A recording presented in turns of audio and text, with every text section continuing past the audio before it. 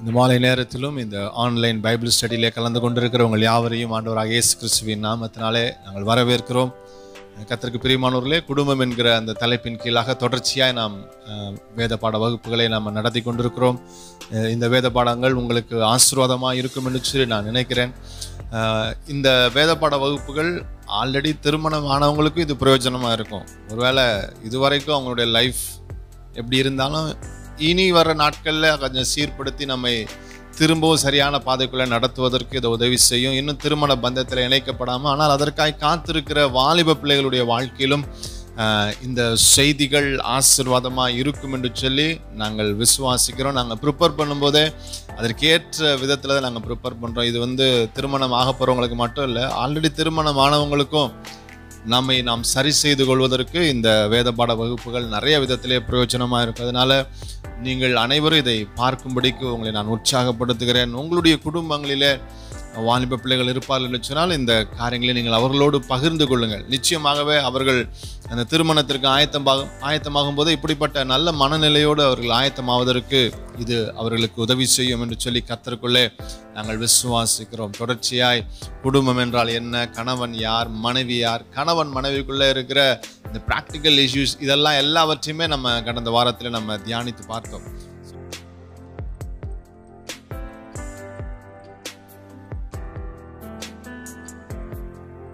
கணவன் மனைவி இவங்க ரெண்டு பேரும் சேர்ந்து எடுக்க வேண்டிய தீர்மானங்கள். கிட்டத்தட்ட ஒரு பத்து தீர்மானங்கள் நாங்கள் கொஞ்சம் ப்ரிப்பேர் பண்ணி வைத்திருக்கிறோம்.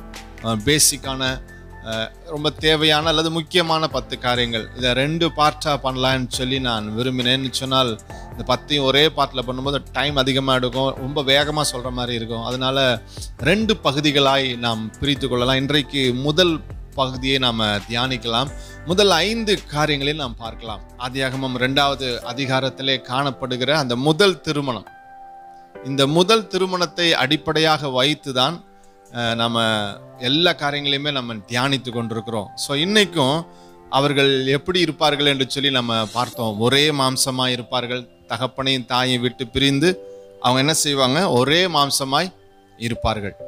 ஸோ இந்த ஒரே மாம்சமாய் ஒரு குடும்ப உறவுக்குள்ளே இணைக்கப்பட்ட ஒரு கணவன் மனைவி அவங்களுடைய திருமணம் துவங்கும் பொழுது அந்த திருமண வாழ்க்கையில் ஆரம்பத்திலிருந்து அவங்க செய்ய வேண்டிய தீர்மானங்களை குறித்து தான் இன்றைக்கு நம்ம பார்க்க போகிறோம். ஒரு ஐந்து தீர்மானங்களை இந்த வாரத்திலும் அடுத்த ஐந்து தீர்மானங்களை அடுத்த வாரத்தில் நம்ம பார்க்கலாம். இதை நீங்கள் தொடர்ச்சியாக இந்த காரியங்களை நீங்கள் மிஸ் பண்ணாமல் பார்க்கும்படி உங்களை உற்சாகப்படுத்துகிறேன். குடும்ப உறவுக்குள்ளே இணைக்கப்பட்டாயிருச்சு கணவன் மனைவி. ஸோ வாழ்க்கையை நம்ம துவங்குகிறோம் நான் கடந்த பைபிள் ஸ்டடியில் சொன்னது போல தான் அதனுடைய ஆரம்பம் வந்து ரொம்ப சந்தோஷமாக இருக்கும். எந்த பிரச்சனையுமே இருக்காது. போக போக போக போக தான் என்ன ஆகும் பிரச்சனைகள் அதிகரிக்கும். அதை எப்படி ஹேண்டில் பண்ணுறதுன்னு தெரியாமல் நம்ம திணறி கொண்டிருப்போம். அப்படி திணறி திணறியே நிறைய பேர் வாழ்க்கையை முடிச்சிருக்கிறாங்க. ஆனால் சிலர் அதுலேருந்து வெளியே வந்திருக்கிறாங்க. தங்கள் லைஃப்பை என்ன சொல்கிறது அவங்க சரி பண்ணி அடுத்து ஓட ஆரம்பித்திருக்கிறாங்க. ஆனால் சிலர் திருமணத்திற்கு முன்பாகவே அதை குறித்துதான அந்த என்ன சொல்றது அந்த நாலேஜை அவங்க பெற்றுக்கொண்டு அதற்கேற்ற விதத்தில் தங்களை ஆயத்தப்படுத்திக் கொள்கிறவர்களும் உண்டு. நம்முடைய தமிழ்நாட்டில் அநேக இடங்கள்ல ப்ரீ மேரேஜ் கவுன்சில்னு சொல்லி கொடுக்கப்படுது. சர்ச்சஸ்லேயே நிறைய சர்ச்சஸில் அவங்க நடத்துகிறாங்க ரொம்ப சந்தோஷமான காரியம். ஆனால் எல்லா சர்ச் நிறைய சர்ச்சில் நடத்தப்படல. ரொம்ப குறைவாக தான் நடத்தப்படுகிறது இந்த நாட்களில். அது மிகவும் தேவை. ஸோ இதெல்லாவற்றையும் அடிப்படையாக வைத்து தான் இன்றைக்கு நம்ம இந்த பத்து காரியங்களை நம்ம தியானிக்க போகிறோம். அப்ப இந்த கணவன் மனைவி அப்படிங்கிற அந்த உறவுக்குள்ளே அந்த பந்தத்துக்குள்ளே இவங்க ரெண்டு பேரும் சேர்ந்து எடுக்க வேண்டிய தீர்மானம். இன்னைக்கு நம்ம பார்க்க போற அந்த பத்து தீர்மானங்களுமே ரெண்டு பேருமே சேர்ந்து எடுக்க வேண்டிய காரியங்கள். ரெண்டு பேருமே அதற்கு உடன்பட்டு ஒத்து போய் ஒன்றாய் நடக்க வேண்டிய காரியங்கள். அதனால இது கணவனுக்கு மட்டும் இல்லை மனைவிக்கு மட்டும் இல்லை ரெண்டு பேருக்கும். முதலாவது காரியம் கணவனும் மனைவியும் இணைந்து எடுக்க வேண்டிய தீர்மானம் என்ன தெரியுமா? ஒருவரை ஒருவர் நேசிக்க தீர்மானிப்போம். ஆம் கத்திரிக்கு பிரியமானவர்களே நீங்க எடுக்க வேண்டிய முதல் தீர்மானம் ஒருவரை ஒருவர் நேசிக்க வேண்டும். கணவன் மனைவியை நேசிக்க வேண்டும் மனைவி கணவனை நேசிக்க வேண்டும். அப்ப இது கேட்கும் பொழுது இ- இது இது நேச்சுரல் தானே இது இது இதுக்கு என்ன தீர்மானம் நம்ம எடுக்க வேண்டியிருக்கு அப்படின்னு சொல்லி உங்களுக்கு ஒரு கேள்வி வரலாம். திருமண பந்தம்னு சொல்லி வரும் பொழுது இது இயற்கையாகவே இருக்கும். கணவனுக்கு மனைவி மேல ஒரு அன்பு இருக்கும் மனைவிக்கு கணவன் மேல அன்பு இருக்கும் ஒரு நியூ ரிலேஷன்ஷிப் நான் ஏற்கனவே சொன்னதுதான். ஆரம்பத்துல எல்லாமே ஒண்ணுமே தெரியாது. எல்லாம் நம்ம அட்ஜஸ்ட் பண்ணி போய்ப்போம் மறந்து போவோம். ஒன்றும் பெருசா நம்ம கேர் எடுத்துக்க மாட்டோம். சின்ன சின்ன இஷ்யூ வந்தாலும் டக் டக்குன்னு இதை தாண்டி போயிடுவோம் ஆனால் நம்முடைய ப்ராக்டிக்கல் லைஃப் இந்த திருமண காரியங்கள்லாம் முடிஞ்சு அந்த ஹனிமூன் சீசன் நான் சொன்னேன் ஒரு த்ரீ மந்த்ஸ்ன்னு சொல்லுவாங்க. 90 டேஸ் இதெல்லாம் முடிஞ்சு நார்மல் லைஃப் அவங்களுடைய ரெகுலர் லைஃப் அல்லது ரொட்டீன் லைஃப்குள்ள அவங்க வரும்பொழுது தான் ப்ராக்டிக்கலாக நிறைய விஷயங்களை அவங்க ஃபேஸ் பண்ணுறாங்க இப்போ வாழ்கிற வாழ்க்கை தான் அவங்க கண்டினியூவாக வாழ போகிறாங்க அந்த முதல் தொண்ணூறு நாள் அது ஒரு பெரிய லைஃபே இல்லை. அது என்ன சொல்கிறது ஒரு கொண்டாட்டம் மாதிரி ஒன்றுமே தெரியாது. ஜாலியாக போயிடும் அதுக்கப்புறம் தான் மேட்ரே இருக்குது. ஸோ அப்போ அந்த காலகட்டத்தில் ஒருவரை ஒருவர் நாம் நேசிக்கணும். அப்படிங்கிற அந்த தீர்மானம் ஒரு சாதாரணமான தீர்மானம் அல்ல. அது ரொம்ப பெரிய தீர்மானம். இன்னும் சொல்ல போனால் இந்த ஃபஸ்ட்டு பாயிண்ட்டை நம்ம லைஃப்பில் நம்ம கேரி பண்ணி போறதே ரொம்ப கஷ்டமான காரியம். ரொம்ப கஷ்டமான காரியம். கத்தருக்கு பிரியமானவர்களே இதை நான் உங்களுக்கு எக்ஸ்பிளைன் பண்ணி சொல்கிறேன் இந்த ஒருவரை ஒருவர் நேசிக்க தீர்மானிப்போம் அப்படிங்கிற அந்த காரியம் வந்து ரொம்ப முக்கியமானது. இதில் நீங்கள் என்ன டிசிஷன் எடுக்கணும் அப்படின்னா நான் என் மனைவி மேல வைத்திருக்கிற அன்பை எந்த காரியங்களும் அணைத்து போடக்கூடாது. அது உடைக்கப்பட்டுறக்கூடாது அதே போலதான் மனைவி தன் கணவன் மேல வைத்திருக்கிற அந்த அன்பை அது உடைக்கப்படுவதற்கு அனுமதிச்சிடக்கூடாது. அலோவ் பண்ணிடக்கூடாது. இங்கதான் முக்கியமான காரியம். அதான் நான் சொன்னேன். இது வெளியில பார்க்கும்போது கேஷுவலா இருக்கும். ஒருவரை ஒருவர் நேசிக்கணும். நான் உன்னை நேசிக்கிறேன். நீ என்ன அப்படின்னு சொல்லி ஒருத்தர் ஒருத்தர் பார்த்து சொல்லிடலாம். ஆனா நான் எதை சொல்ல வருகிறேன்? அந்த அன்பு உங்களுக்குள்ள இருக்கு. இல்லை இல்லைன்னு நான் சொல்லலை. ஆனால் முக்கியமான காரியம் என்ன? அந்த அன்பு உடைக்கப்படுவதற்கு அந்த அன்பு அணைந்து போவதற்கு நம்ம என்ன செய்யக்கூடாது? அனுமதிக்க கூடாது என்னுடைய வாழ்க்கையிலிருந்து நான் ஒரு சம்பவத்தை கடந்த பைபிள் ஸ்டடியில் நான் சொன்னேன். நாங்கள் திருமணம் பண்ணப்போ நாங்கள் எடுத்த முதல் டெசிஷன் என்ன அப்படின்னா எந்த ஒரு காரியம்னாலும் உனக்குள்ளே எனக்குள்ளே தான் இருக்கணும். நம்ம ரெண்டு பேரும் பேசி தீர்த்துப்போம். நமக்குள்ளே வைத்துக்கொள்வோம். நான் என் வீட்டில் சொல்ல மாட்டேன் நீ உன் வீட்டில் சொல்லாது. ஸோ இன்னைக்கு வரைக்கும் அதை எங்கள் லைஃப்பில் நாங்கள் ஃபாலோ பண்ணுறோம் எங்களுக்குள்ள பிரச்சனைகள் வரும். நாங்கள் பேசுவோம். அதுக்கப்புறம் புரிந்து கொள்வோம். ஒவ்வொருத்தருடைய நிதர்சனத்தை புரிந்து கொள்வோம். என் மனைவி உடைய காரியம் சரியாக இருக்கும்னு சொன்னால் சரி நான் தான் தப்பு பண்ணிட்டேன். அடுத்து நான் என்ன சரி பண்ணிக்கொள்கிறேன் ஒருவேளை என் சைடு நியாயம் இருந்தால் என் மனைவி இல்லைங்க நான் தான் தப்பு பண்ணிட்டேன். நான் என்ன சரி பண்ணிக்கொள்கிறேன் ஒருவரை ஒருவர் விட்டு கொடுத்து நாங்கள் என்ன செய்வோம்? நாங்கள் முன்னேறி செல்வோம். இதுதான் நாங்கள் எடுத்த டிசிஷன் இங்கே அதை தான் நான் சொல்ல வரேன்.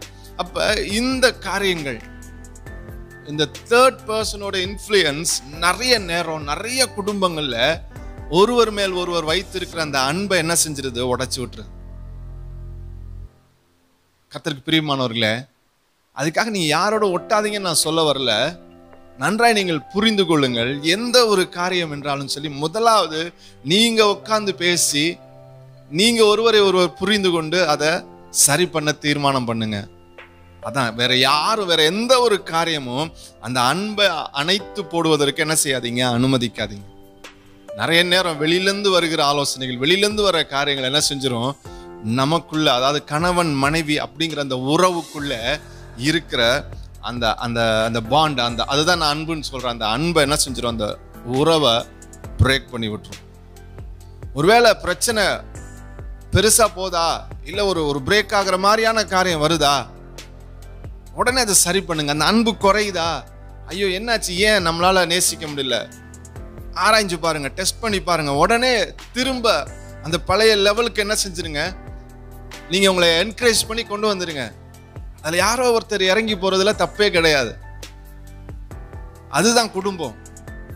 நிறைய நேரம் கணவன் நினைக்கிறேன் நான் இறங்கி போயிட்டேன்னா அப்புறம் என் மனைவி என் தலையில ஏறி உட்காந்துருவா மனைவி நினைக்கிறேன் நான் இறங்கி போயிட்டேன்னு என் புருஷன் என் தலையில ஏறி உட்காந்துப்பாரு இல்லை கத்திற்கு பிரியமானவர்ல அன்புங்கிறது அது அதுதான் அன்பு. அதுக்கு பேர் தான் அன்பு. தம்முடைய ஒரே பேரான குமாரன் இந்த பூமிக்கு அனுப்பி அன்பு இன்னதென்று என்ன செஞ்சார்? விளங்க பண்ணினார். இந்த உலகம் நேசிச்சுச்சா? அந்த ரட்சகரை தேடிச்சா இல்ல ஏற்றுக்கொள்ளவே இல்லை. ஆனா தேவன் அன்பு வைத்து இறங்கி வரார் மனிதனுக்காக.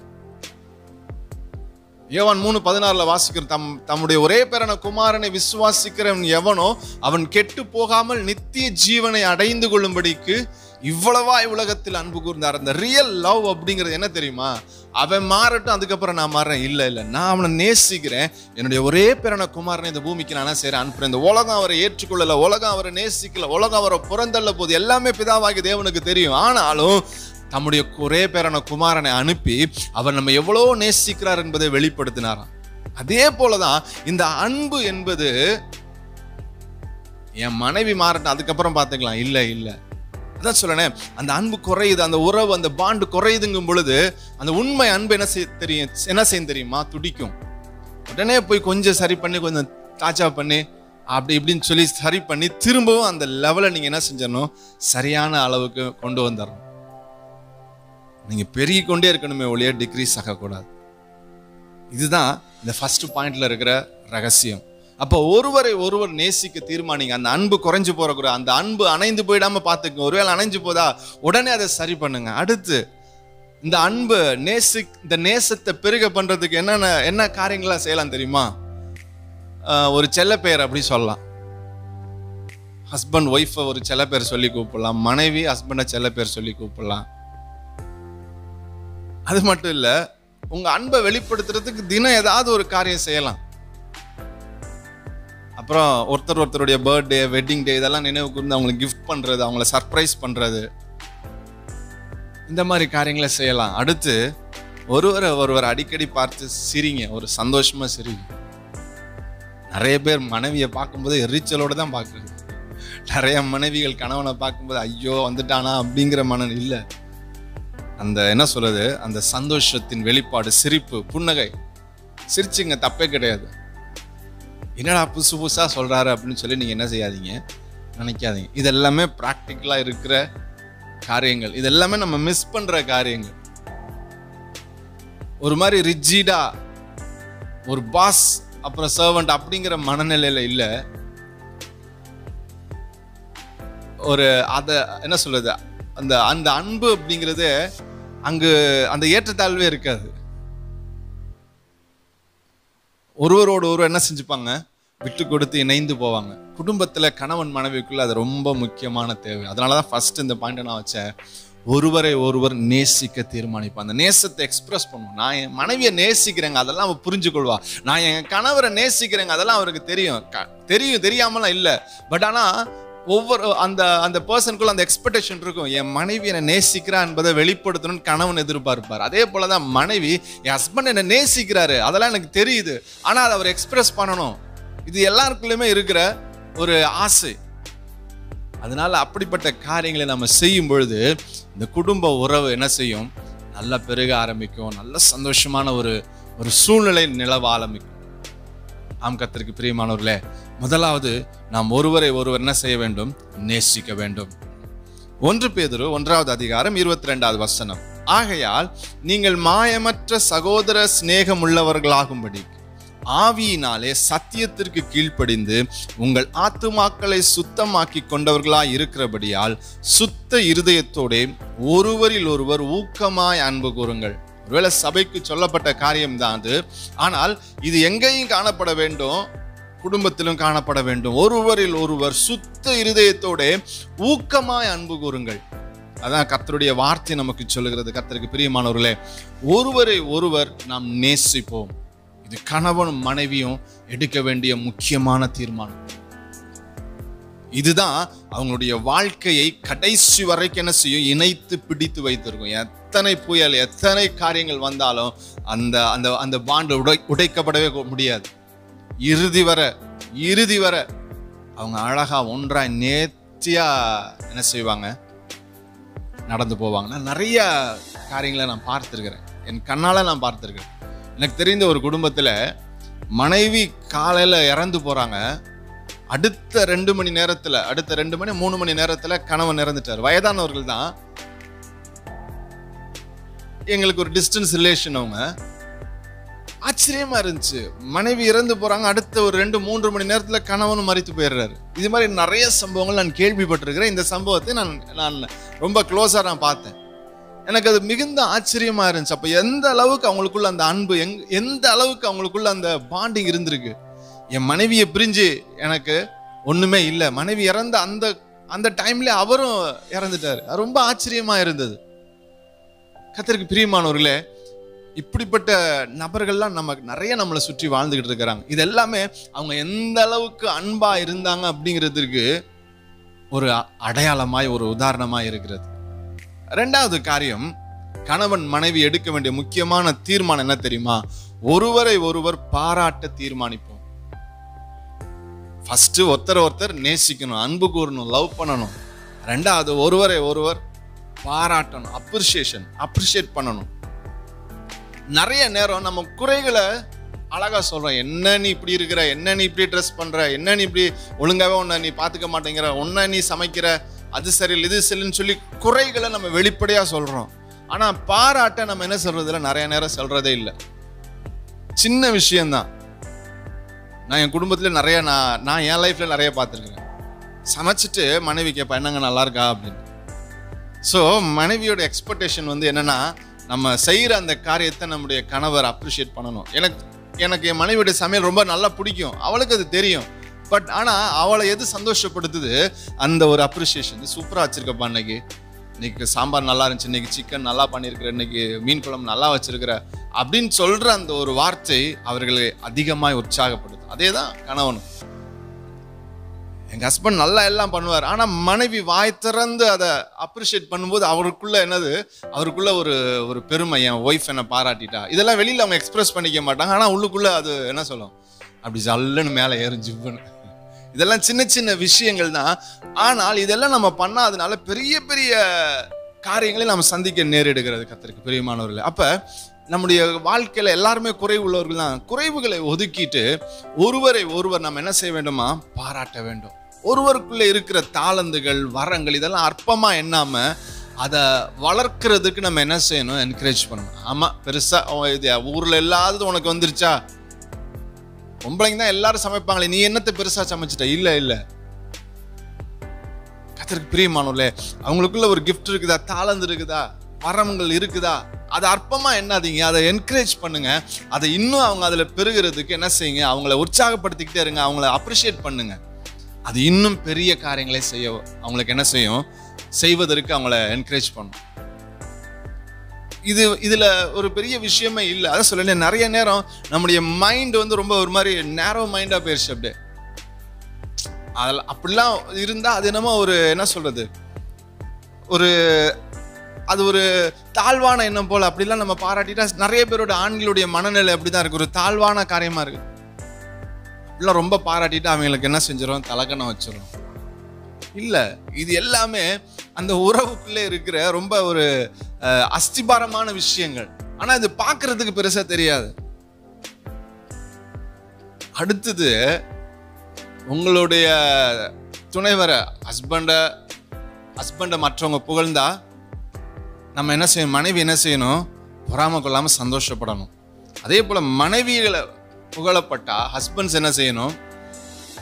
சந்தோஷப்படணும் பொறாமப்படக்கூடாது. இதில் என்ன ஒரு உண்மை என்னன்னா ஹஸ்பண்ட் உயர்த்தப்படும் பொழுது நைன்டி நைன் பர்சன்ட் ஒய்ஃப் வந்து சந்தோஷப்படுறாங்க. என்- என்னுடைய புருஷனுக்கு ஒரு நல்ல மரியாதை கிடைக்குது. நல்லா ஒரு எல்லாரும் புகழப்படும் போது அவங்களுக்குள்ள ஒரு பெரிய சந்தோஷம். என் புருஷன் அப்படின்னு சொல்லி அவங்க ரொம்ப சந்தோஷப்படுறாங்க. ஆனால் அதே அப்படியே ரிவர்ஸில் நீங்கள் பார்த்தீங்க அப்படின்னா மனைவி உயர்த்தப்படும் பொழுது நைன்டி நைன் பர்சன்டேஜ் ஆஃப் ஹஸ்பண்ட்ஸால ஏற்றுக்கொள்ள முடிகிறது இல்லை. இது நான் பார்த்த நிதர்சனமான காரியம். நிறைய இடத்துல நிறைய குடும்பத்தில் நான் பார்த்துருக்கிறேன். குறிப்பாய் ஊழியத்தின் காரியங்கள் ஊழியத்தின் பகுதிகளை நான் அதிகமாய் பார்த்துருக்கிறேன். மனைவி உயர்த்தப்படும் போது நிறைய ஹஸ்பண்ட்ஸால் ஏற்றுக்கொள்ள முடியல. நல்ல ஒரு பியூட்டிஃபுல் ஒரு எக்ஸாம்பிள் என்ன அப்படின்னு சொன்னால் ஜாய்ஸ் மேயர் ஜாய்ஸ் மேயர் எல்லாருக்குமே தெரியும். ஆனால் அவங்களுடைய ஹஸ்பண்ட் எத்தனை பேருக்கு தெரியும்னு தெரியாது. நானே அவரை பார்த்ததில்ல. ஆனால் அந்த ஜாய்ஸ் மேயர் வந்து ஸ்டேஜில் நின்று அவ்வளோ அழகாக மினிஸ்ட்ரி பண்ணுறதுக்கு அத்தனை காரியங்களையும் பண்ணுவதற்கு பேக் போனாக இருக்கிறது யார் தெரியுமா? அவருடைய ஹஸ்பண்ட் தான். அவங்கள அவ்வளவு அழகாக பார்த்து அவங்களுக்கு தேவையான எல்லாவற்றையும் வாங்கி கொடுத்து அவ்வளோ சந்தோஷமாக அவங்கள ஸ்டேஜில் நிப்பாட்டி அவர் ரொம்ப என்கரேஜ்மெண்ட்டாக நடந்துப்பார் இது அவங்களே பகிர்ந்து கொண்ட ஒரு காரியம். அதனால அந்த ஊழியங்களால எத்தனை பேர் ஆசீர்வதிக்கப்பட்டிருக்கிறாங்க? கத்தருக்கு பிரியமானவர்களே. அப்ப உங்களுடைய துணைவர் புகழப்படும் பொழுது உங்களுக்கு பொறாம வரக்கூடாது நீங்க சந்தோஷப்படணும். அதுதான் ஒருவர் ஒருவர் என்கரேஜ் பண்றது. ஏய் பரவாயில்ல உன்னை எல்லாரும் அப்ரிஷியேட் பண்றாங்க ரொம்ப சந்தோஷம். இன்னும் நீ நிறைய செய். உங்களுக்கு தெரிஞ்ச ஐடியாஸ் உன்ட்ட இதெல்லாம் இருக்கு. இன்னும் இதை நீ என்ன செய்? உன்னை இதில் நீ எக்யூப் பண்ணிக்கோ. இதில் நல்லா வளரு. இந்த காரியங்களை இப்படி இப்படி செய்யுன்னு சொல்லி அவங்களுக்கு ஆலோசனைகளை கொடுத்து அவங்களுடைய அந்த உயர்வில் அவங்களுடைய அந்த காரியத்தில் அவங்களை நீங்கள் என்ன செய்யணும்? வளர்க்க வேண்டும் பாராட்ட வேண்டும் பொறாமப்படக்கூடாது மட்டம் தட்டி உட்கார வைக்கக்கூடாது. ஆமாம் பெருசாக பண்ணிட்ட. யார் பண்ணாது? அவங்க பண்ணாது? இவங்க பண்ணாது? அப்படி இப்படின்னு சொல்லி அவங்கள மட்டம் தட்டி உட்கார வைக்கக்கூடாது. கத்தருக்கு பிரியமானவர்களே ஒருவரை ஒருவர் பாராட்ட தீர்மானிங்க. சின்ன சின்ன விஷயத்துக்கு கூட. ஒவ்வொரு நாள் நீங்கள் பாராட்டலாம். பரவாயில்ல வீட்டை அழகாக சுத்தமாக வச்சுருக்க சூப்பர். இவ்வளோ வேலையின் மத்தியில் வீட்டை அழகாக நீ மெயின்டைன் பண்ணுறமா ரொம்ப சந்தோஷம். அப்ரிஷியேட் பண்ணுங்க உங்கள் மனைவியை. இது போல் கணவருடைய அந்த காரியங்களை அப்ரிஷியேட் பண்ணுங்க. என்னங்க அவங்களுக்கு ஆஃபீஸில் உங்கள் ஒர்க்கில் எவ்வளோ நல்ல நேம் வந்திருக்காம இவ்வளோ காரியங்கள் வந்திருக்காம ரொம்ப சந்தோஷங்க. வெறும் வேற என்னென்னலாம் நான் உங்களுக்கு ஹெல்ப் பண்ணட்டும் சொல்லுங்கள் அந்த ஒருவரோட ஒருவர் இருக்கிற அந்த என்கரேஜ்மெண்ட் இருக்குது பார்த்தீங்களா அதை போல் அந்த குடும்பத்தை மேலே எழுப்புற காரியம் வேற ஒன்றுமே கிடையாது. கத்தருக்கு பிரியமானவரில் ஆண்டவரே அதனால தான் கணவன் மனைவிங்கிற அந்த உறவை உருவாக்கி இருக்கிறார் உருவாக்கி இருக்கிறார் அநேக வெற்றி பெற்ற ஆண்களுக்கு பின்பாக அவங்களுடைய மனைவிமார்கள் இருக்கிறாங்க. பெண்கள் இருக்கிறாங்கன்னு சொல்லி பழமொழி இருக்குது. அது தாயா இருக்கலாம் மனைவியா இருக்கலாம் சகோதரியா இருக்கலாம். அதே போல மேஜர் பார்ட் ஒய்ஃபு ஒய்ஃபுக்கு இருக்குது. அதே போல அநேக மனைவிகளுடைய வெற்றிக்கு பின்னாடி கணவன் இருக்கிறார். நான் இல்லவே இல்லைன்னு சொல்லலை. ஆனால் பர்சன்டேஜ் வைஸ் பார்க்கும்போது நிறைய பெண்களுடைய வெற்றிக்கு பின்னாடி கணவன் இல்லை. அவங்கள கீழே இழுக்க தான் பார்க்குறாங்க. அவங்களால அக்செப்ட் பண்ணிக்க முடியல. எப்படி எல்லாரும் இவ்வளோ புகழ்றாங்க என்ன? அப் அவங்க என்ன நினச்சிக்கிறாங்க? அந்த மனைவி புகழப்படும் போது நமக்கு மரியாதை ஏதோ குறையுது அப்படிங்கிற மாதிரி இல்லை. உங்களுக்கும் அந்த இடத்துல ஒரு கணம் கூடுகிறது கத்திற்கு பிரியமானவர்களே. ஒருவரை ஒருவர் நீங்க என்ன செய்யுங்க? பாராட்ட தீர்மானியுங்கள். கலாத்தியர் ஐந்தாவது அதிகாரம் இருபத்தி ஆறாவது வசனம். வீண் புகழ்ச்சியை விரும்பாமலும் ஒருவரை ஒருவர் கோபம் கோபமூட்டாமலும் ஒருவர் மேல் ஒருவர் பொறாமை கொள்ளாமலும் இருக்க கடவோம். அழகா அந்த இடத்துல கலாத்தியல பவுல் எழுதுறார். வீண் புகழ்ச்சிலாம் வேணாம். நீங்கள் ஒருத்தர் ஒருத்தர் கோபம் முட்டாதீங்க. ஒருவர் மேல் ஒருவர் பொறாம கொள்ளாமல் சமாதானமாக சந்தோஷமாக நல்லா என்கரேஜ் பண்ணி ஒருவர் ஒருவர் என்ன சார் என்கரேஜ் பண்ணி அழகாக முன்னேறுங்க. பிலிப்பியர் ரெண்டு மூன்றாவது வசனம் நான்காவது வசனத்தில் நம்ம வாசிக்கிறோம். ஒன்றையும் வாதினாலாவது வீண் பெருமையினாலாவது செய்யாமல் மனத்தாழ்மையினாலே ஒருவரை ஒருவர் தங்களிலும் மேன்மையானவர்களாக எண்ண கடவீர்கள் அவனவன் தனக்கானவைகளை அல்ல பிறருக்கானவைகளை நோக்குவானாக. நாம் கத்திருக்க பிரியமானவில்லை என்னுடைய காரியம். நான் அந்த சுயத்தை எடுத்துட்டு என் மனைவி அதே போல மனைவி தன்னைத்தானே நோக்கி கொண்டிருக்கிறான் என் கணவன். ஒருவரை ஒருவர் இப்படி டிபெண்ட் பண்ணி ஒருவரை ஒருவர் என்கரேஜ் பண்ணி இப்படி எழும்பும் பொழுது அந்த குடும்பம் ஆசிர்வதிக்கப்பட்ட குடும்பமாக இருக்கும். அநேகருக்கு ஆசீர்வாதமான குடும்பமாக இருக்கும். மூன்றாவது காரியம் ஒருவரை ஒருவர் மன்னிக்க தீர்மானிக்கிறோம். குடும்பத்தில் ரொம்ப முக்கியமான ஒரு தீர்மானம். ஃபஸ்ட்டு அன்பு கூறணும் நேசிக்கணும். ரெண்டாவது அப்ரிஷியேட் பண்ணணும். ஒருவரை ஒருவரை என்ன செய்யணும்? பாராட்டணும். மூன்றாவது காரியம் ஒருவரை ஒருவர் மன்னிக்கணும். இந்த மன்னிப்பு இல்லை அப்படின்னு சொன்னா நிச்சயமாய் குடும்பம் சீர்குலைந்து சின்னாபின்னமாய் போயிடும் நான் சாகிற வரைக்கும் என் மனைவி மூஞ்சிலே முழிக்க மாட்டேன். அவளோட பேச மாட்டேன். ஒரே வீட்டுக்குள்ள கணவன் மனைவியாய் வாழ்ந்தா கூட வருஷ கணக்கில் ஈவன் சாகிற வரைக்கும் கூட அவங்க சொன்னது போல மனைவியோட பேசாமல் இருக்கிற எத்தனையோ கணவன்மார்கள் உண்டு.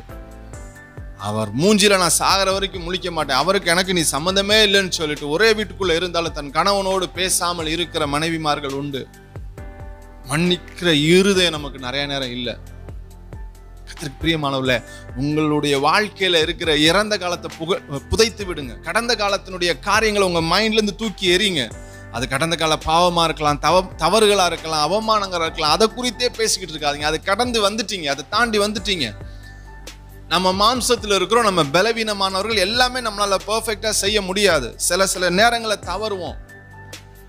சில சில காரியங்களில் போய் நம்ம சிக்க வேண்டியிருக்கும் அவமானங்களை சந்திக்க வேண்டியிருக்கும் பிரச்சனைகளை சந்திக்க வேண்டியிருக்கும். அதை தாண்டி வந்துட்டீங்களா அதை மறந்து மன்னித்து விடுங்க.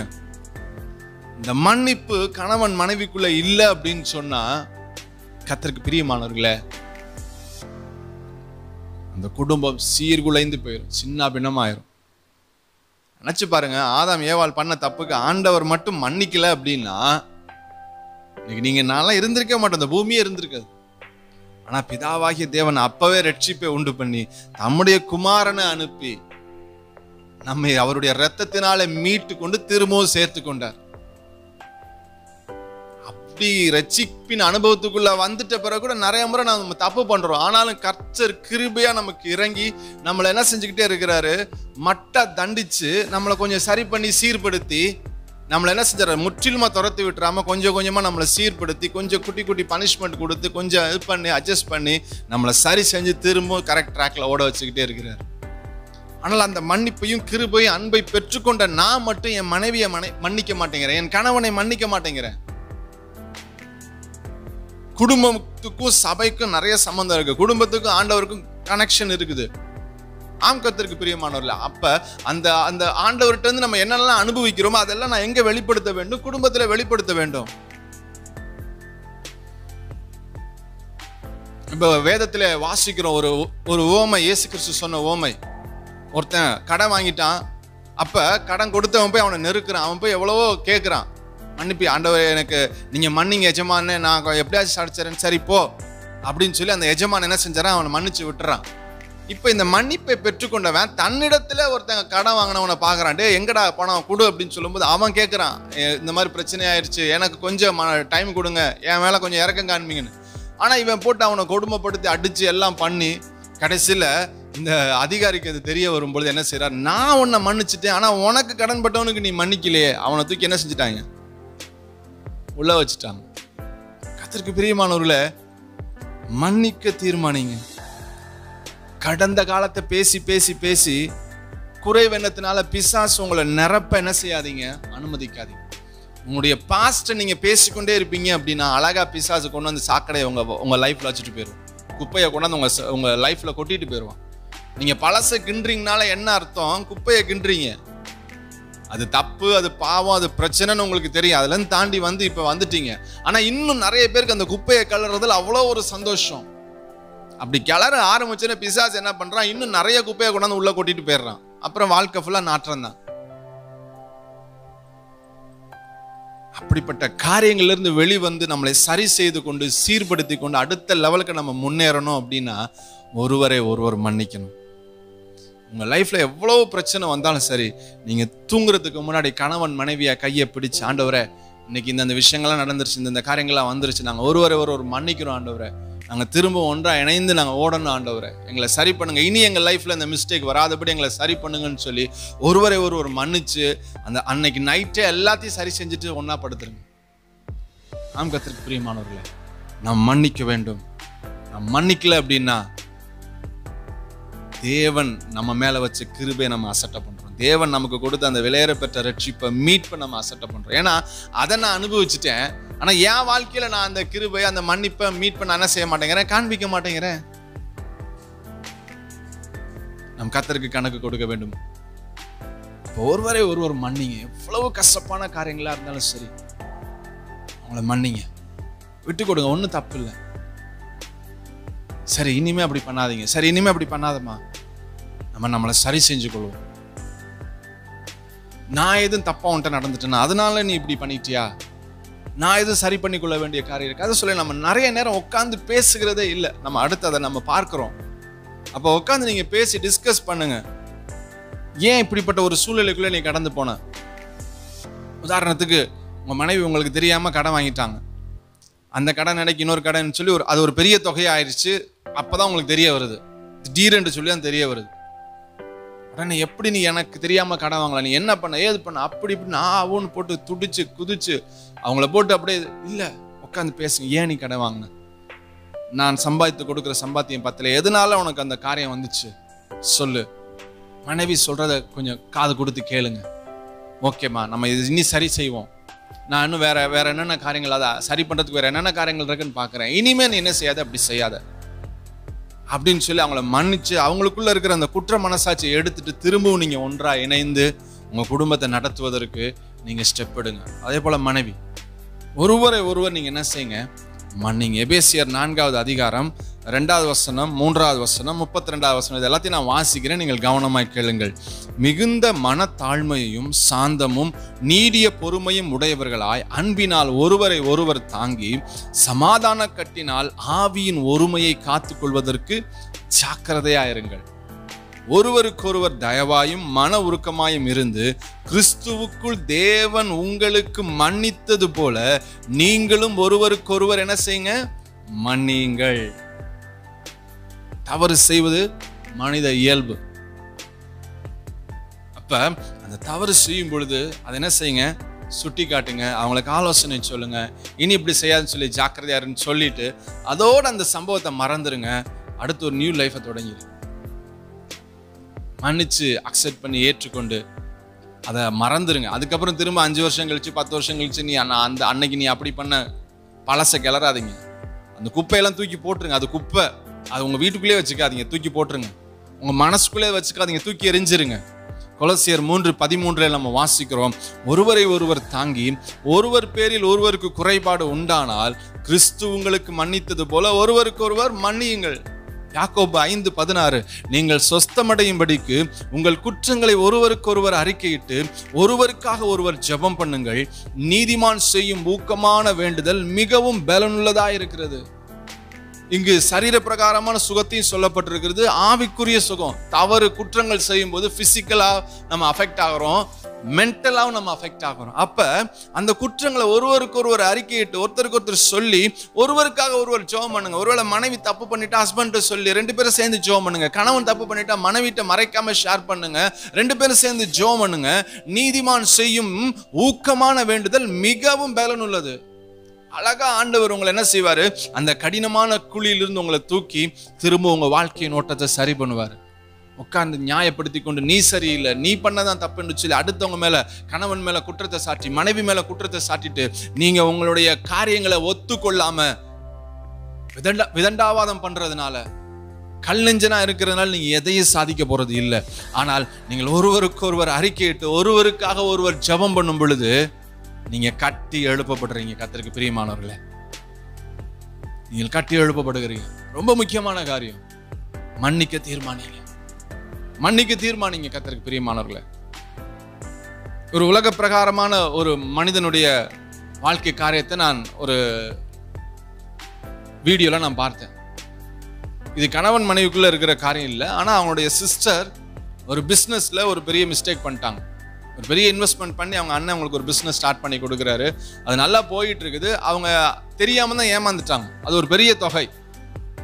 அப்போ இவங்க ரொம்ப பயந்துக்கிட்டு இருக்கிறாங்க அண்ணனுக்கு தெரிஞ்ச அண்ணன் என்ன சொல்ல போகிறார் ஏது சொல்ல போகிறான்னு சொல்லி கடைசியில் அவங்க அண்ணன்ட்ட போய் சொல்லும் பொழுது ஓகே ஒன்றும் பிரச்சனை இல்லை. இனி கொஞ்சம் ஜாக்கிரதையாரு அப்படின்னு சொல்லிட்டு அவங்களை என்கரேஜ் பண்ணிட்டு போயிறாரு. இவங்களுக்கு பயங்கர ஷாக் ஆயிருது.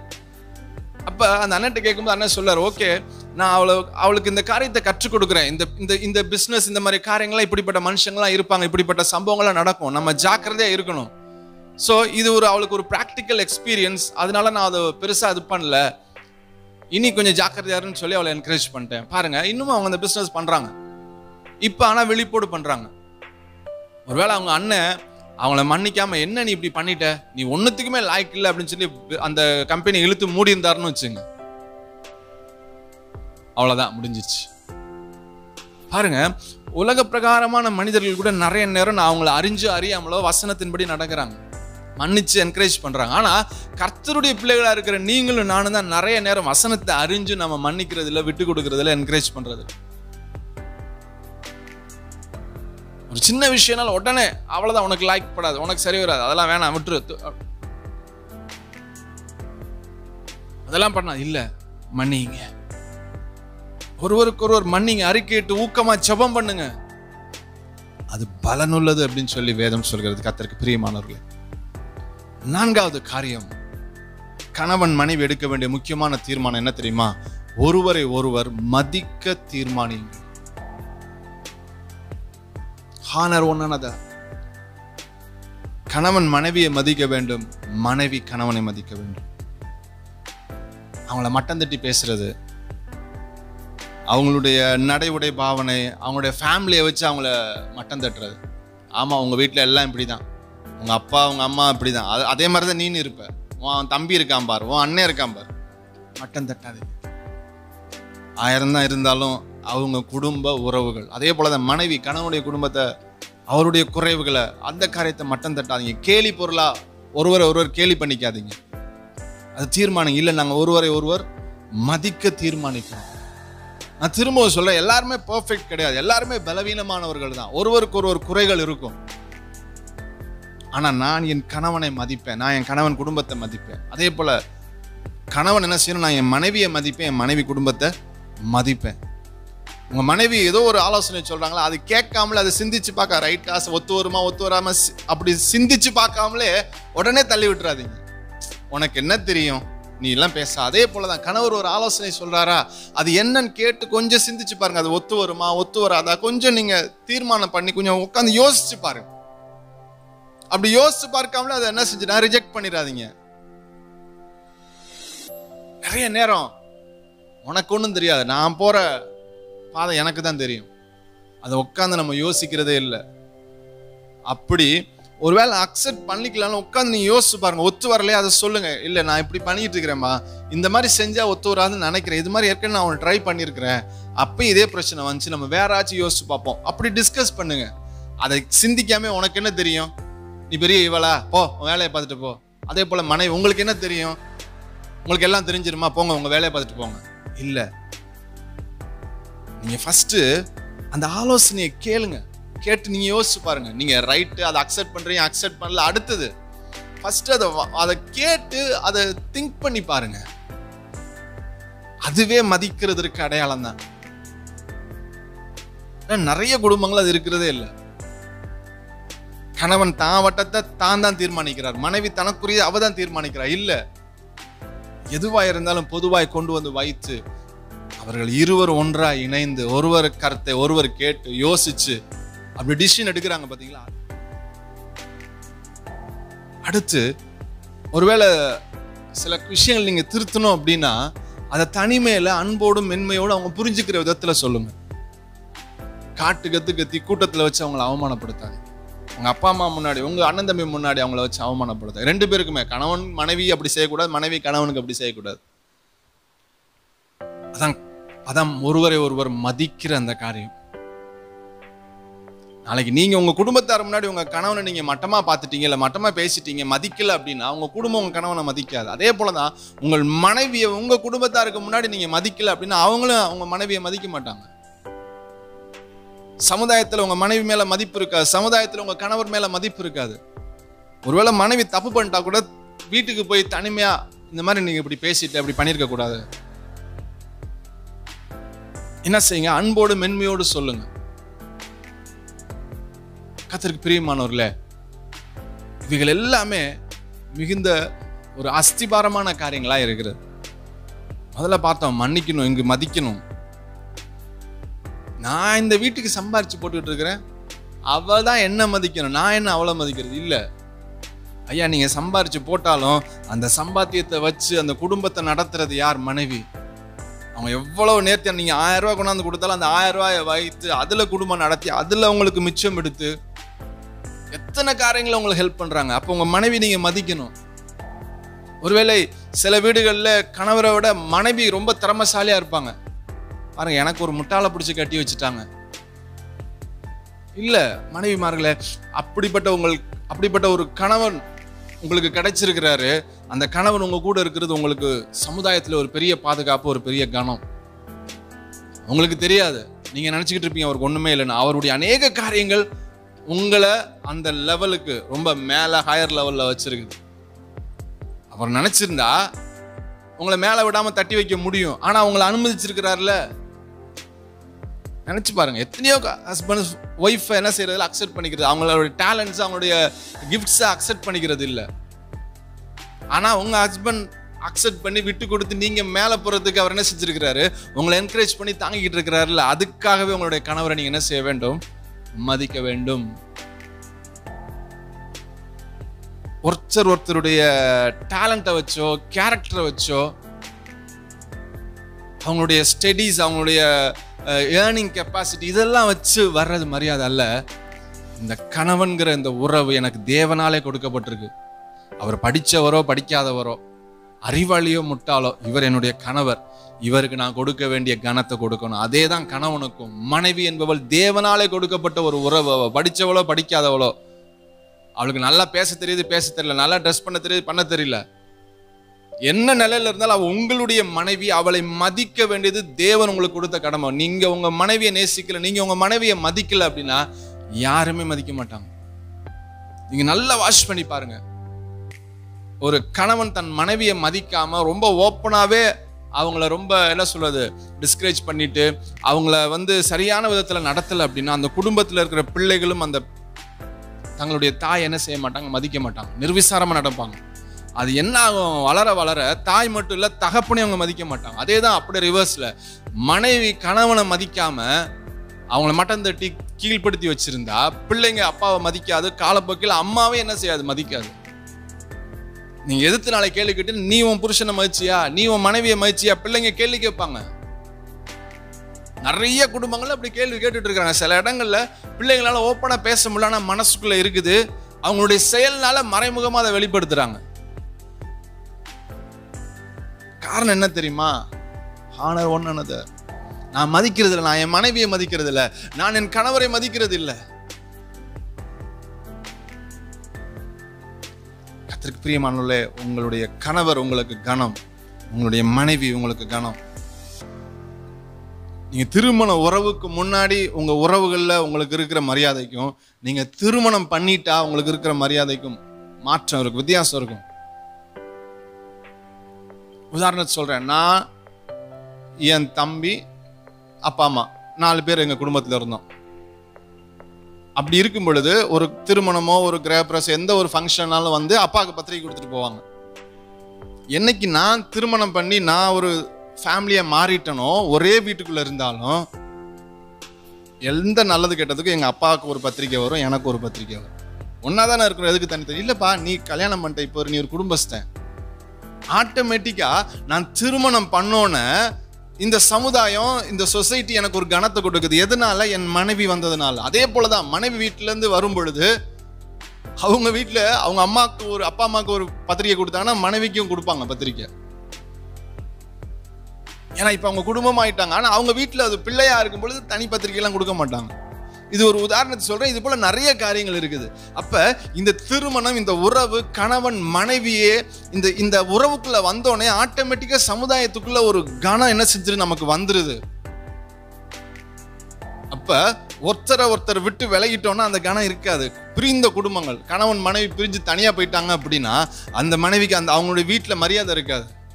அந்த கணவனுக்கு அவங்க அப்பா அம்மா மத்தியில் அவங்க குடும்பத்தின் மத்தியில் ஒரு பெரிய மரியாதை இருக்கிறது. இந்த பைய பாருங்க பொண்டாட்டியை விட்டுட்டு இப்போ என்னமோ சண்டை போட்டு பிரிஞ்சிருக்கான்னு கணவனை பேசுவாங்க. மனைவியை பார்த்து இப்போ பாருங்க புருஷனை விட்டு வந்து உட்காந்துருக்கிறா இதெல்லாம் எங்கே உருப்பிட போகுது? அதுக்கு முன்னாடி ஒன்றா இருந்தப்ப கனப்படுத்தின அதே உறவுகள் தான் அதே சமுதாயம் தான். இப்போ நீங்கள் பிரிஞ்சிட்டீங்கன்னா உங்கள் மேலே இருக்கிற அந்த கனம் என்ன செஞ்சிருது? உடஞ்சி போயிருது. அப்போ கணவன் மனைவி இந்த திருமணங்கிறது ஒரு பெரிய கணம். நீங்க ரெண்டு பேரும் ஒன்றா இணையும் போது இந்த சமுதாயம் உங்களை கனப்படுத்துது. அப்போ இந்த கணம் எதனால் உங்களுக்கு வருது? உங்களுக்கு அந்த மனைவி கிடைத்ததுனால தான் மனைவிக்கு கணவன் கிடைத்ததுனால தான் அதனால நீங்கள் ஒருவரை ஒருவர் என்ன செய்ய வேண்டும்? மதிக்க வேண்டும். ஆம் கத்திற்கு பிரியமானவர்களே எபேசர் ஐந்து முப்பத்தி மூன்று தெளிவாய் சொல்லுகிறது. உங்களிலும் அவன் அவன் தன்னிடத்தில் அன்பு கூறுவது போல தன் மனைவியிடத்திலும் அன்பு கூற கடவன் மனைவியும் புருஷனிடத்தில் பயபக்தியா இருக்க கடவுள். மனைவி கணவரிடத்தில் என்ன செய்யணும்? பயபக்தியா இருக்கணும். புருஷன் மனைவியிடத்திலே அன்பு கூற வேண்டும். ரோமர் பனிரெண்டு பத்தில் நம்ம வாசிக்கிறோம். சகோதர சிநேகத்திலே ஒருவர் மேல் ஒருவர் பட்சமா இருங்கள். கனம் பண்ணுகிறதுல ஒருவரை ஒருவர் முந்திக் கொள்ளுங்கள் இது ஒரு காமன் வேர்ஸ் தான். இதே காரியத்தை தான் நம்ம ஃபேமிலிக்கும் நம்ம அப்ளை பண்ணணும். ஒருவர் மேல் ஒருவர் பட்சமா இருக்கணும். கனம் பண்றதுல முந்திக் கொள்ளணும் என் மனைவி என்னை மதித்தாதான் நான் அவளை மதிப்பேன். இல்லாட்டி நான் அவளை மதிக்க மாட்டேன். என் கணவர் என்னை மதித்தாதான் நான் அவரை மதிப்பேன். இல்லை. இல்லை கத்திற்கு பிரியமானவர்களே ஒருவரை ஒருவர் நாம் என்ன செய்ய வேண்டும்? கனப்படுத்த வேண்டும். ஒன்று பேதொரு மூன்றாவது அதிகாரம் ஏழாவது வசனம் எட்டாவது வசனம் அந்தபடியே புருஷர்களே மனைவியானவள் பலவீனமான பாண்டமா இருக்கிறபடியினால் உங்கள் ஜெபங்களுக்கு தடை வராதபடிக்கு நீங்கள் விவேகத்தோட அவர்களுடனே வாழ்ந்து உங்களுடனே கூட அவர்களும் நித்திய ஜீவனாகிய கிருபையை சுதந்திரித்துக் கொள்கிறவர்களானபடியால் அவர்களுக்கு செய்ய வேண்டிய கனத்தை செய்யுங்கள். புருஷனுக்கு தெளிவா ஆண்டவர் சொல்லுது மனைவி யாரு? நித்திய ஜீவனை பெறுகிறதற்கு நித்திய ஜீவனாகி கிருபையை சுதந்திரித்து சுதந்திரித்துக் கொள்வதற்கு அவங்களுக்கும் தகுதி இருக்குது. அவங்களுக்கும் அங்க கொடுக்கப்பட்டிருக்குது. அதனால நீ என்ன செய்ய உன் மனைவிக்கு செய்ய வேண்டியதை கனத்தை செய். மேலும் நீங்கள் எல்லாரும் ஒருமனப்பட்டவர்களும் இரக்கம் உள்ளவர்களும் சகோதர சிநேகம் உள்ளவர்களும் மன உருக்கம் உள்ளவர்களும் இணக்கம் உள்ளவர்களுமாயிருங்கள் வசனம் தெளிவா சொல்லுது கத்திரிக்கு பிரியமானவர்கள். எல்லாமே வசன ஆதாரத்தோடு உங்களோட பேசிக்கிட்டு இருக்கிறேன். ஒருவரை ஒருவர் கனம் பண்ணணும். தெளிவாக பேதர் எழுதுறாரு. புருஷனே நீங்க என்ன செய்யுங்க? உங்க மனைவிக்கு செய்ய வேண்டிய கனத்தை செய்யுங்கப்பா. அவளுக்கு கொடுக்க வேண்டிய மரியாதையை கொடுங்க. அவளுக்குன்னு ஒரு பொசிஷன் இருக்கு. அவளுக்குன்னு ஒரு காரியம் இருக்கு. அந்த அந்த கனத்தை அவளுக்கு கொடுங்க.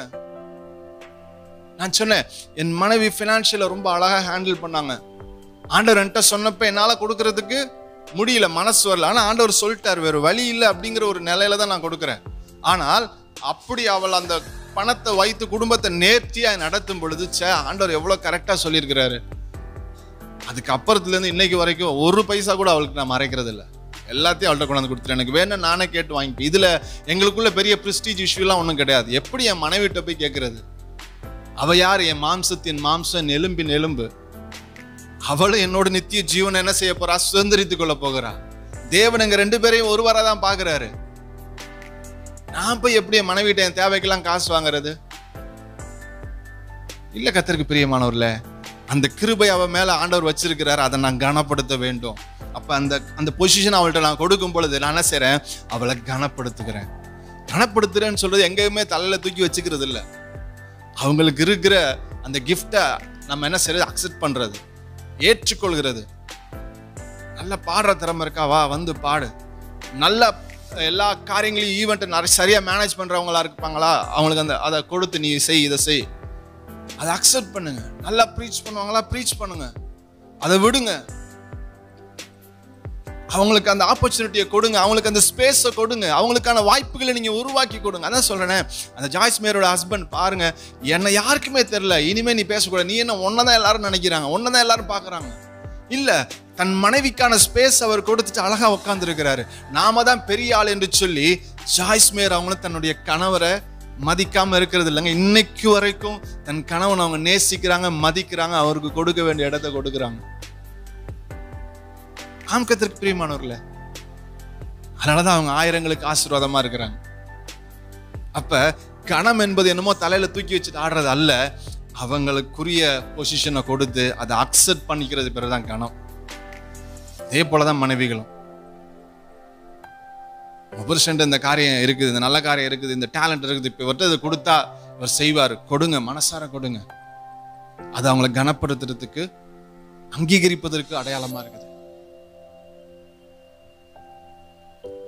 அவங்களுடைய குறையே பேசிக்கிட்டு பலவீனத்தையே பேசிக்கிட்டு மட்டம் தட்டி பேசிட்டு இல்லை. மதிங்க. நீங்க கனம் பண்ணலாம் சமுதாயம் அவரை கனம் கனம் பண்ணாது. நீங்க உங்க மனைவியை கனம் பண்ணலாம் சமுதாயம் அவங்கள கனம் பண்ணாது. அவங்கள மட்டம் தட்டி கொண்டே தான் இருக்கும். ஐந்தாவது காரியம் ஒருவரை ஒருவர் திருப்திப்படுத்த தீர்மானிக்கிறோம். பார்த்த முதலாவது நேசிக்கணும் அன்பு கூற வேண்டும். ரொம்ப முக்கியமான ஒரு காரியத்தை நம்ம பார்த்தோம். அடுத்து ரெண்டாவது நம்ம பாராட்டணும். மூணாவது மன்னிக்கணும். ஒருவரை ஒருவர் மன்னிக்கணும். நாலாவது ஒருவரை ஒருவர் மதிக்க வேண்டும். ஐந்தாவது காரியம் ஒருவரை ஒருவர் திருப்திப்படுத்த தீர்மானிக்க வேண்டும். குடும்பத்தில் கணவன்கிற அந்த ஒரு காரியம்தான் மையமாக இருக்கும். எல்லாருமே யாரை ஃபோக்கஸ் பண்ணியிருப்பாங்க? அந்த குடும்ப தலைவனை அந்த கணவன் அல்ல தகப்பனை. ஆனால் எல்லாரும் என்ன மட்டும்தான் கவனிக்கணும் கணவன் நினைக்கக்கூடாது. மனைவியை மட்டும் மனைவி தன்னை தான் நினை கவனிக்கணும் மனைவி நினைக்கக்கூடாது. ஒருவரை ஒருவர் கவனத்தின் மையமாக்கும் அந்த சுயத்தை நம்ம உடைப்போம். நான் என் மனைவியை திருப்திப்படுத்துறேன். நான் என் கணவரை திருப்திப்படுத்துறேன். ரெண்டு பேரும் ஒருவரை ஒருவர் திருப்திப்படுத்த வேண்டும். மனைவி மனைவியோட கவனத்தின் மையம் யாரா இருக்கணும்? கணவனா இருக்கணும். கணவனுடைய கவனத்தின் மையம் யாரா இருக்கணும்? மனைவியா இருக்கணும். இது சரியா இருந்தாதான் இவங்க ரெண்டு பேரும் ஒன்றா இணைந்து தங்களுடைய கவனத்தை தங்கள் பிள்ளைகள் மேல வைக்க முடியும். இதுல மிஸ் ஆனுச்சு பிள்ளைங்க சீர்கெட்டு போயிடுவாங்க இன்னைக்கு நிறைய குடும்பத்துல பிள்ளைகள் சீர்கெட்டு போறதுக்கு காரணம் என்ன தெரியுமா? கணவன் மனைவியை திருப்திப்படுத்தல மனைவி கணவனை திருப்திப்படுத்தல. ரெண்டும் முறைச்சுக்கிட்டு நார்த் வெஸ்ட் அப்படின்னு இருக்கு. சாரி நார்த் சவுத் அப்படின்னு இருக்கு அதே நான் தப்பா சொல்லிட்டேன். உணவு பொழுதுபோக்கு உடை நண்பர்கள் பிள்ளைகள் விளையாட்டு. இது எல்லாவற்றிலும் ஒருவரை ஒருவர் நம்ம என்ன செய்யணுமா? திருப்திப்படுத்த வேண்டும். அதே போல முக்கியமாய் தாம்பத்தியம். பாலுறவுன்னு சொல்லுவோம். அதுல ஒருவரை ஒருவர் திருப்திப்படுத்த வேண்டும்.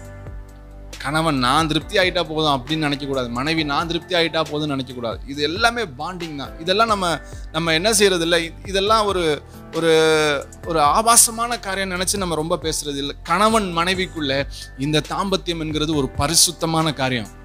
இது அந்த கணவன் மனைவிக்கு அந்த உறவுக்கு வெளியே செய்யப்படும் பொழுது அது அசுத்தமாக்கப்படுது. பிசாஸ் அதை என்ன செய்யறான் அந்த குடும்ப உறவுக்குள்ள அந்த கணவன் மனைவியுடைய உறவுக்குள்ள இருந்து வெளியே கொண்டு போய் அந்த காரியத்தை வைக்கிறான் பார்த்தீங்களா அதுதான் பாவம் அதுதான் அசுத்தம். ஆனால் கணவன் மனைவிக்குள்ளே அது ரொம்ப பரிசுத்தம் உள்ளது. விவாக மஞ்சம் விவாக மஞ்சம் கனம் உள்ளது. ஆண்டவர் அப்படிதான் பாக்குறாரு. அப்ப அந்த விஷயத்துல கூட ஒருவரை ஒருவர் நம்ம திருப்திப்படுத்தணும் கத்தருக்கு பிரியமானவர்களே. அண்டர்ஸ்டாண்டிங் இன்னைக்கு இதெல்லாம் நமக்கு கற்றுக் கொடுக்கப்படுகிறது இல்லை. இதெல்லாம் நம்ம வெளியில இருந்து தான் பாக்குறோம் வெளியே சொல்லப்படுகிற காரியங்கள் நூற்றுக்கு நூறு பர்ஃபெக்டா இல்லை. நிறைய விஷயங்கள் இச்சையை தூண்டுறதா தான் இருக்குது. அதனால தான் தவறான காரியங்கள் நிறைய போய்கிட்டு இருக்கு. அப்போ வேதம் போதிக்கிற விதத்தில் சரியான காரியங்கள் நாம் நம்முடைய பிள்ளைகளுக்கு கற்றுக் கொடுப்போம்னு சொன்னால் அவங்க வளரும் பொழுதே ஒரு சரியான மனநிலையோடு வள வளருவாங்க. தங்களுடைய பரிசுத்தத்தை காத்துக்கொள்வாங்க. திருமண உறவுக்குள்ளே வரும் பொழுது ஒருவரை ஒருவர் திருப்திப்படுத்தி சரியாக நடந்து கொள்வாங்க. ஸோ எல்லாத்துலேயுமே ஃபுட்டு என்டர்டைன்மெண்ட்டு ட்ரெஸ்ஸு ஃப்ரெண்ட்ஷிப் பிள்ளைகள் இதில் ஒருத்தர் ஒருத்தர் திருப்திப்படுத்தணும். அடுத்து ஒருவரை ஒருவர் கேட்காமல் எந்த டிசிஷன் எடுக்கக்கூடாது. ஹஸ்பண்டுக்கு தெரியாமல் மனைவியோ மனைவிக்கு தெரியாமல் ஹஸ்பண்டோ அப்படி எடுக்கிற எந்த டிசிஷன்ஸும் உருப்பிட்டதா சரித்திரமே கிடையாது. எது ஒன்றுனாலும் உங்கள் கணவருக்கு தெரியப்படுத்துங்க. எந்த காரியனாலும் உங்கள் மனைவிக்கு தெரியப்படுத்துங்க. இல்லைங்க அவளுக்கு புரியாது. அவள் சம்டைம்ஸ் அதை புரிஞ்சுக்காம இது பண்ணிடுவா ஒருவேளை புரிஞ்சுக்காம இருக்கட்டும் ஆனால் மறைக்காதீங்க. அவங்களுக்கு புரிய வைங்க. அதுக்காக கொஞ்சம் டைம் எடுத்துங்க. ஒன்றும் தப்பு இல்லை.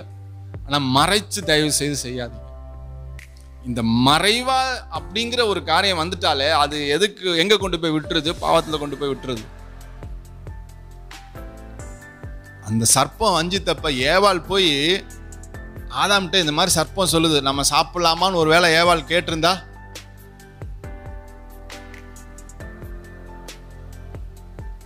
இன்னைக்கு நமக்கெல்லாம் இப்படிப்பட்ட ஒரு நிலைமையே வந்திருக்காது. ஆனால் கணவனுக்கு தெரியாமல் சாப்பிட்டா. சாப்பிட்டு என்ன செஞ்சுட்டா? அதுக்கப்புறம் தான் கொண்டு வந்து கணவனுக்கு கொடுக்குறான். ஃபஸ்ட் அங்கே எல்லாம் முடிஞ்சிருச்சு. அதுக்கப்புறம் தான் கணவனுக்கு கொடுக்குறா. கணவனுக்கு வேற வழி இல்லை. பார்க்குறாரு இவன் என்ன சாகலையே அப்படின்னு அவரும் வஞ்சிக்கப்படுறாரு. இப்போ ரெண்டு பேரும் சாப்பிட்ட பிறகுதான் இவங்க இவங்க ஏமாத்தப்பட்டது இவங்களுக்கு தெரியுது. ஆண்டருடைய ஆண்டவருடைய மகிமை இவங்களை விட்டு எடுக்கப்பட்டுருச்சு. இப்போ நிர்வாணிகளாக இருக்கிறோமே அப்படின்னு சொல்லி அவங்க என்ன செய்கிறாங்க போய் இலைய மரத்துக்குள்ளே ஒளிஞ்சுக்கிறாங்க. இது வரைக்கும் கத்தருடைய மகிமை அவங்க மேல ஒரு ட்ரெஸ்ஸா நல்ல ஒரு ஆடைய அழகிய வஸ்திரம் போல இருந்துச்சு. அவங்க தாங்க நிர்வாணிகள் என்பது அறியல. ஏன்னா கத்தருடைய மகிமை அவங்க மேல இருந்துச்சு. இப்போ நான் எப்படி ட்ரெஸ் போட்டிருக்கணும் அது போல தேவ மகிமை அவங்க மேல ஒரு ஆடையை போல இருந்துச்சு. ஆனா ஆதாமுக்கு தெரியாம ஏவாள் பண்ண காரியம் அவளை பாதிச்சிச்சு. அடுத்து ஆதாமுக்கு தெரிய வரும்போது அவனும் அதுக்குள்ளே வஞ்சிக்கப்படுறான். அவனையும் பாதிச்சிச்சு. இப்போ இவங்க ரெண்டு பேரும் சேர்ந்து தப்பு பண்ண பிறகு தான் மேட்ரே வெளியப்படுது கர்த்தருடைய மகிமை அவங்கள விட்டு போயிடுச்சு. கர்த்தருக்கு பிரியமானவர்களே குடும்பத்தில் கணவனுக்கு தெரியாமல் மனைவியோ மனைவிக்கு தெரியாமல் கணவனோ எந்த டிசிஷன்ஸையும் தயவு செய்து எடுக்காது உங்கள் கணவருக்கு எதையும் மறைக்காதீங்க. உங்கள் மனைவிக்கு எதையும் மறைக்காதீங்க. ப்ளஸ்ஸோ மைனஸோ எல்லாத்தையும் ஓப்பனாக அவங்கள்ட்ட சொல்லுங்கள் ஒருவேளை உங்களுடைய பாஸ்ட்டை சொல்லணும்னு கூட அவசியம் இல்லை. உங்களுடைய திருமணத்துக்கு முன்னாடி நடந்த விஷயங்கள்லாம் கூட சொல்லணும்னு அவசியம் இல்லை. ஆனால் உங்களுடைய ப்ரெசண்ட்டில் நீங்கள் கணவன் மனைவியாக இணைந்த பிறகு உங்கள் வாழ்க்கையில் இருக்கிற ஒவ்வொரு விஷயத்தையும் நீங்கள் மறைக்காமல் ஒருவருக்கு ஒருவர் நீங்கள் வெளிப்படுத்தி ஒருவரோட ஒருவர் உட்காந்து பேசி என்ன செஞ்சுக்கோங்க? அதை நீங்கள் பேசி வைத்துக்கொள்வது மிகவும் நல்லது. இந்த திருப்தி படுத்துறேன் அப்படின்னு சொல்லி வசனத்தை மீறிடாதீங்க. பைபிளை மீறிடாதீங்க. அதுவும் ரொம்ப இதில் ஒரு சிக்கலான காரியம். என் துணையை நான் சாட்டிஸ்ஃபைட் பண்ணுறேன் அப்படின்ட்டு ஆண்டவருடைய வார்த்தையை மீறி தயவு செய்து எதுவும் செஞ்சிடாதீங்க. ஆம் கத்திற்கு பிரியமானவர். இன்னைக்கு கலாச்சாரங்கள்லாம் மாறிக்கிட்டு இருக்குது. ஒரு காலத்தில் குடிக்கிறதே தப்பு. குடி குடிகாரனை கேவலமாக இந்த சமுதாயம் பார்த்துச்சு. இன்னைக்கு குடிக்கலனா தான் இந்த சமுதாயம் என்ன செய்யுது? கேவலமாக பார்க்குது. நம்ம ஊரில் இன்னும் ஒரு கிட்டத்தட்ட ஒரு செவன்ட்டி எயிட்டி பர்சன்டேஜ் வந்துருச்சு. ஆனால் இன்னும் கொஞ்சம் தள்ளிலாம் போனீங்கன்னா பெங்களூர்லாம் போனீங்கன்னா இப்போ நிறையா அந்த குவாரண்டைன் டைமில் ஃபோட்டோஸ்லாம் வந்துச்சு. லேடிஸ் கூட போய் டாஸ்மார்க்கில் க்யூவில் நின்று கேஸ் கேஸாக வாங்கிட்டு போனாங்க. பாட்டில்ஸ் வாங்கிட்டு போனாங்க. இப்போ என் கணவனுக்கு வந்து மனைவி குடிக்கிறது ரொம்ப பிடிக்கும் அப்படிங்கிறதுனால என் கணவரை திருப்திப்படுத்துறதுக்காக நானும் குடிக்கிறேன். அது வேதத்துக்கு விரோதமானது. வேத வேத வரம்ப மீறுகிற காரியம். இப்படி பைபிளை மீற நிறைய காரியம் இருக்கு. அதெல்லாம் செஞ்சு நீங்க திருப்திப்படுத்தணுங்கிற அவசியம் கிடையாது. வேத வரம்புக்கு கர்த்தருடைய வார்த்தைகளுக்கு உட்பட்டு கணவன் மனைவியை திருப்திப்படுத்த வேண்டும் மனைவி கணவனை திருப்திப்படுத்த வேண்டும். ஆம் கர்த்தருக்கு பிரியமானவர்களே. இந்த ஐந்து காரியங்களை இன்னைக்கு நம்ம தியானித்திருக்கிறோம். அன்பு கூற வேண்டும்.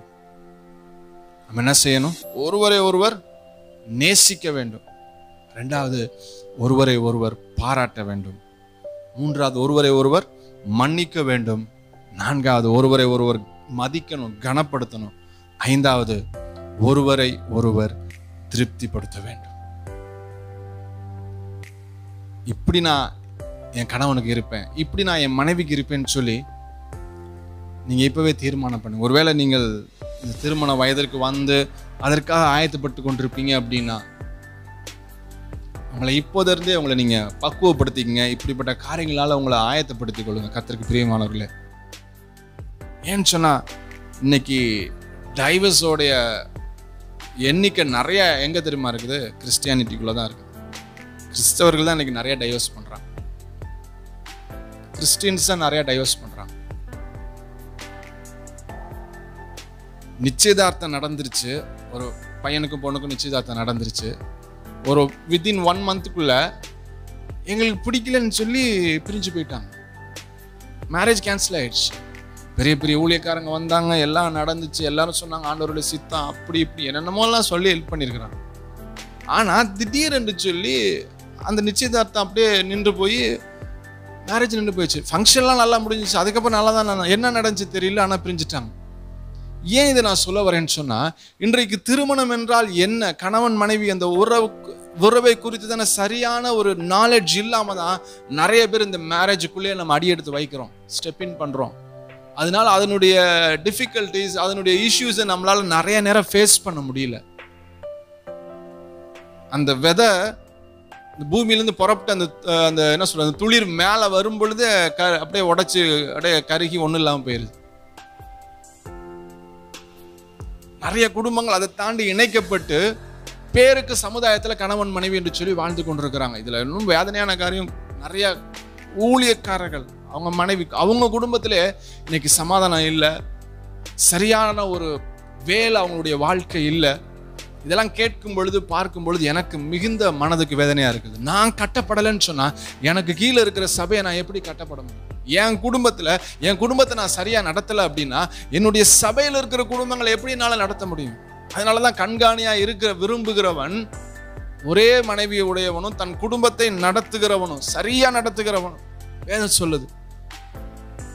கத்திற்கு பிரியமானூர்ல ஏன் இந்த காரியங்களை நான் உபதேசிக்கிறேன் போதிக்கிறேன்? ஒரே ரீசன் தான்.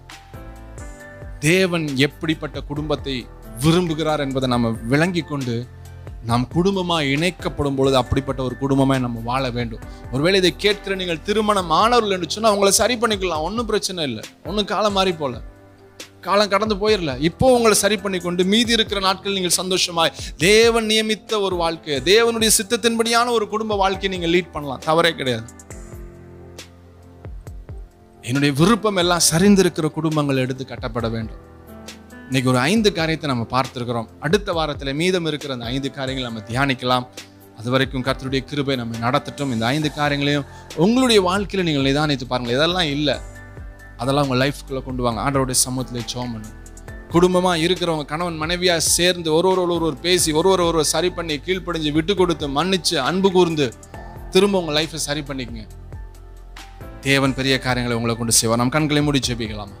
எங்களை அதிகமாக நேசிக்கிற எங்கள் பரிசுத்தமுள்ள நல்ல தகப்பனே இந்த நல்ல நாளுக்காக நன்றியோடு நாங்கள் துதிக்கிறோம் ஸ்தோத்தரிக்கிறோம். இந்த காலை வேலையிலும் ஆண்டவரே இந்த மாலை வேலையிலும் தகப்பனே இந்த வேத ஆராய்ச்சி கூடுகை நீர் எங்களுக்கு ஆசீர்வதித்து கொடுத்தீர். கணவன் மனைவி எடுக்க வேண்டிய ஐந்து தீர்மானங்கள் இன்னைக்கு நாங்கள் பார்த்துருக்குறோம்.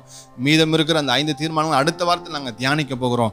இந்த காரியங்களை நாங்கள் தியானிக்கும் பொழுது எங்கெங்கெல்லாம் நாங்கள் குறைவுபட்டிருக்கிறோமோ அங்கெங்கெல்லாம் எங்களை நாங்கள் சரி செய்து கொள்ள நீர் எங்களுக்கு ஒத்தாசையை கொடுக்கும்படியாக நாங்கள் செபிக்கிறோம். ஆண்டவரை சரிந்து போயிருக்கிற குடும்பங்கள் ஆண்டவரை விலகி பிரிந்திருக்கிற குடும்பங்கள் ஆண்டவரை விவாகரத்தான குடும்பங்கள் எல்லாம் ஆண்டவரை இந்த கடைசி நாட்களில் திரும்பவும் கூட்டி சேர்க்கப்படட்டும் ஆண்டவரை. ஒன்றிணைக்கப்படட்டும் ஆண்டவரை திருமணம் என்கிற உங்களுடைய சிந்தையில உண்டான அந்த மேன்மையுள்ள காரியத்தை குறித்து ஆண்டவரை விசுவாச குடும்பங்கள் சரியான அறிவை பெற்றுக்கொள்ளட்டும் என்று சொல்லி நான் ஜெபிக்கிறேன் ஆண்டவரை. உங்களுடைய வல்லமையுள்ள கரத்தில் நான் ஒப்பு கொடுக்கிறேன் ஆண்டவரை. உங்களுடைய சன்னிதானத்தில் நான் எங்களை தாழ்த்துகிறோம் ஆண்டவரை. ஆம் தகப்பனே. சபைகளில் இதை இப்படிப்பட்ட காரியங்களை குறித்து ஆண்டவரை இளம் வாலிபர்களுக்கு தலைமுறை இளம் தலை தலைமுறையினருக்கு ஆண்டவரை அவங்க கற்றுக் கொடுக்கட்டும் ஆண்டவரை pre marriage council post marriage council இப்படிப்பட்ட காரியங்கள் எல்லாம் ஆண்டவர் எல்லா சர்ச்சஸ்லையும் உண்டாக்கப்படட்டும் என்று சொல்லி நாங்கள் ஜெபிக்கிறோம். ஆண்டவரே கர்த்தாவே இன்றைக்கு சீர்குலைந்து கொண்டிருக்கிற இந்த உலகத்தில் எங்களுடைய வாழ்வு பிள்ளைகள் வேதத்தின்படியாய் கர்த்தருடைய சித்தத்தின்படியாய் தங்களுடைய வாழ்க்கையை கட்டி அமைத்துக்கொள்ள அந்த குடும்ப உறவுக்குள்ளே வருவதற்கு எங்கள் பிள்ளைகள் ஆயத்தப்படுத்தப்படட்டும் என்று சொல்லி நாங்கள் ஜபிக்கிறோம் ஆண்டவர். நேரத்தில் எங்கள் எல்லாரையும் உடைய ஒப்பு கொடுக்கிறோம் எங்களை தாழ்த்துகிறோம். சகல துதிகன மகிமைப்புகள் எல்லாவற்றையும் உங்க ஒருவருக்கே செலுத்துகிறோம். ஏசு கிறிஸ்துவின் ஈடு நேற்று நாமத்தை ஜபத்தை இருக்கிறோம் நல்ல பிதாவே. ஆமேன். என் ஆத்மாவே கத்திரை ஸ்தோத்திரி. என் முழுவதுமே அவருடைய பரிசுநாமத்தை ஸ்தோத்திரி. என் ஆத்மாவே கத்திரை ஸ்தோத்திரி. அவர் செய்த சகல உபகாரங்களை மறவாதே. ஆமே தொடர்ந்து அடுத்த வாரமும் மறக்காம இதனுடைய தொடர்ச்சியை பாருங்க. இந்த வீடியோஸ் இந்த குடும்பத்தை குறித்து தானே இந்த பைபிள் ஸ்டடிஸ் எல்லாமே யூடியூப்பில் இருக்குது கேலப் ஜேம்ஸ்ங்கிற அந்த ஐடிக்குள்ளே இருக்குது. நீங்கள் உள்ளே போய் அந்த வீடியோஸை உங்களுக்கு தெரிந்த குடும்பங்கள் இடத்துல நீங்கள் ஷேர் பண்ணுங்கள் யார் இந்த செய்திகள் யூஸ்ஃபுல்லாக இருக்கும் இவங்களுக்கெல்லாம் பிரயோஜனம் உள்ளவங்க இருக்குன்னு சொல்லி நீங்கள் நினைக்கிறீங்களோ அவங்களுக்கெல்லாம் தாராளமாக நீங்கள் அனுப்புங்க. அநேகருக்கு இது ஆசீர்வாதமாக இருக்கும். நிச்சயமாக இந்த காரியங்களை நாம் தனிப்பட்ட விதத்தில் தொடர்ந்து தியானிப்போம். நாம் எங்கெல்லாம் குறைபடுறோமோ கர்த்தருடைய கிருபையினாலும் அவருடைய பரிசு தாவியினாலும் அதில் இருந்து நம்மை சரி செய்து கொண்டு சரி பண்ணி கொண்டு ஒரு நேர்த்தியான ஆசீர்வாதமான குடும்ப வாழ்க்கையை தேவன் வருகும் வரைக்கும் இந்த பூமியிலே நாம் சாட்சியாய் வாழ்வோம். கர்த்தர் நமக்கு கிருபை கொடுப்பாராக. God bless you